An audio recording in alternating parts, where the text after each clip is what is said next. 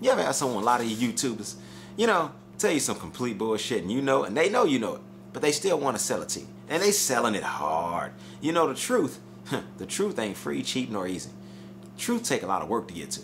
But lies, oh, lies is not only free, nigga, it's free 99 plus they'll throw in extra shit with it. They sell your lies. So when the person's really selling it hard, they lying to you. When they really trying hard to convince, they probably lying to you.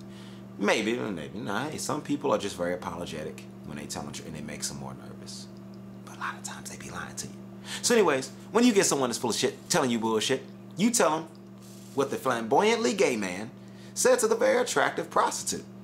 Same thing. Oh, honey, no. I'm not buying it. Mm-mm, no. Kam Rock 2016. like and subscribe, nigga. Peace.